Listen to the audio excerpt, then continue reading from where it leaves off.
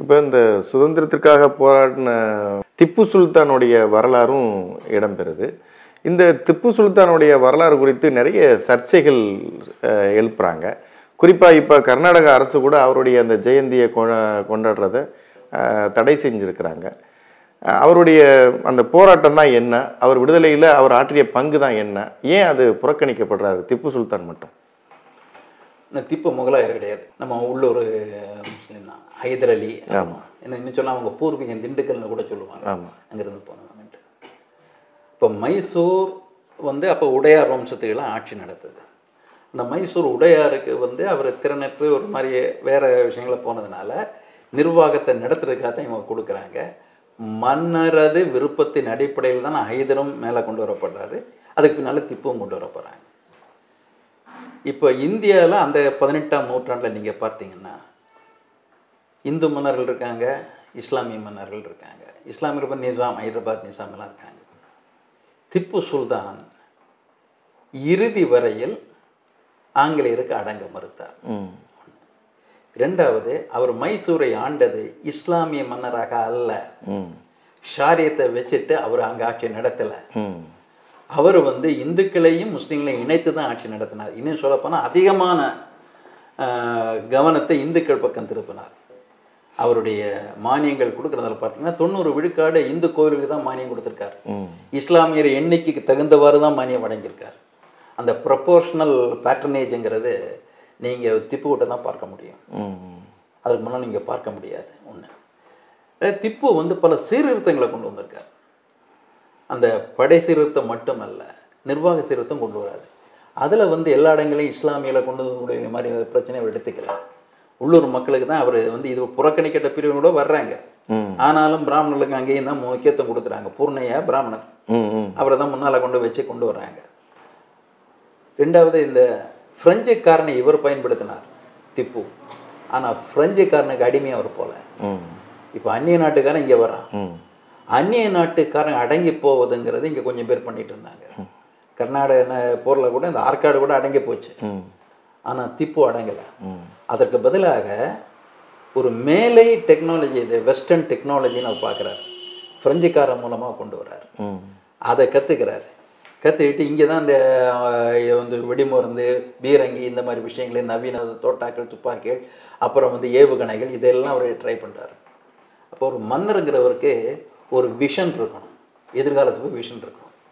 பழையவனற்றை வைத்துக்கொண்டு புதிய நாட்டை படைக்க முடியாதுன்னு அவருக்கு தெரிஞ்சதுனால புதியனவற்றை மேற்கொள்வதற்காக அவர் மேலை நாட்டு தொடர்பை பயன்படுத்திக்கிறார்.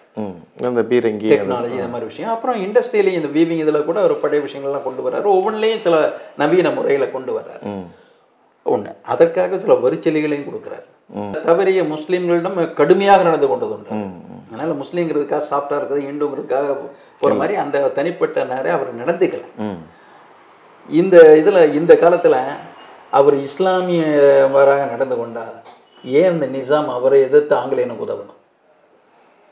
ஹைதராபாத் நிசாம் அவர் எதிர்த்து ஆங்கிலேயருக்கு உதவியவர். மராத்திய பேஷ்வா திப்புவுக்கு எதிராக ஆங்கிலேயருக்கு உதவியவர். இப்போ இருந்த மற்ற மன்னர்களெல்லாம் ஆங்கிலேயனுக்கு அடிபணிஞ்சு போயிட்டாங்க. திப்பு மட்டும் ஏன் தனிமைப்படுத்தப்படுகின்றார்? ஏன்னா அவர் சுதந்திரத்தை இழக்க விரும்பலை. அவர் வந்து சமத்துவ நிலையில் பிரிட்டிஷ்காரோட பேசுகிறத அவங்க விரும்பலை. அதனால தான் பிரிட்டிஷ் ஆவணங்கள்லேயே அவர்கள் ஆட்சிக்கு இருக்கின்ற மிகப்பெரிய அச்சுறுத்தல் இந்தியாவில் திப்பு அப்படின்னு எழுதுறாங்க. ஆனால் நீங்கள் வந்து மன்னிப்பு கடிதம் எழுதி கொடுத்து பென்ஷன் வாங்கின பேஷ்வா உங்களுக்கு வந்து சுதந்திர போராட்டத்தில் பெரிய ஆள். நானா சாஹிப் பெரிய ஆள். இன்னும் சொல்ல ஜான்சி ராணி கூட ஒரு கேள்விக்குரிய ஒரு பகுதி தான் நம்ம அதை ஒரு பெண் போரிட்டான்னு நம்ம அதை பெரிய கொச்சப்படுத்த விரும்பலை. ம். ஆனால் இங்கே இறுதி வரையில் போராடி போர்க்களத்திலே இருந்த திப்பு சுல்தான் எந்த விதத்தில் வந்து மற்றவங்களை விட சிறுமைப்படுத்த முடியும்?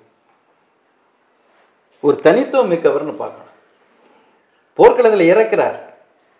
நீ உடன்படிக்கை செஞ்சு உயிரோட வாழ்கிற பென்ஷன் வாங்கிட்டு வாழ்கிற அப்போ இந்த இந்து தேசியங்கிறதா இந்திய தேசியங்கிறதா இந்திய தேசியம் என்று பார்த்தால் அந்நியர்களது ஆபத்தை தெரிந்து கொண்டு அதற்கு ஏற்ற தடுப்பு நடவடிக்கை மேற்கொண்ட முதல் மன்னன் திப்பு சுல்தான். அப்போ அப்பேற்பட்ட ஒருவன் முஸ்லீமாக இருக்கின்ற காரணத்தினாலேயே அவனை குறைத்து மதிப்பிடுவதும் அல்லது அவனை கொச்சைப்படுத்துவதும் இந்த ஒரு வக்கரம் அந்த வரலாற்று வக்கரம் அது. உண்மையான வரலாற்றை ஏற்றுக்கொள்வது கிடையாது. பெரும்பாலான நேர்மையான வரலாற்று புத்தகங்கள் திப்புவுக்குரிய இடம் கொடுக்கப்பட்டிருக்கிறது. அதை மாற்ற வேண்டும் என்று தான் இந்துத்துவவாதிகள் இன்று முயன்று கொண்டிருக்கின்றார்கள். வரலாற்றில் ஏற்கனவே அவருக்கு சிறப்பான இடம் கொடுக்கப்பட்டிருக்கிறது. அந்த கொடுக்கப்பட்டவற்றை அழிக்க வேண்டும் என்று இன்றுள்ளவர்கள் முயன்று கொண்டிருக்கின்றார்கள். ஆனால் வரலாறு என்பது இந்தியர்களுக்கு மட்டும் உரியதல்ல உலகம் முழுமைக்கு உரியது உலகத்தில் உள்ள பிற வரலாற்றறிஞர்களும் புரிந்து கொண்டிருக்கின்றார்கள். தனிச்சிறப்பு. இல்லாட்டா அவர் அங்கே அங்கே இருக்கிற பிரெஞ்சு புரட்சி அமைப்பின் கிளையை மை இவர் வந்து மை ஸ்ரீரங்கப்பட்டத்தில் துவக்க வேண்டிய அவசியம் என்ன? ஜேக்கோபின் கிளப்புடைய அந்த கிளையே வந்து அவர் இங்கே துவக்கிறார்.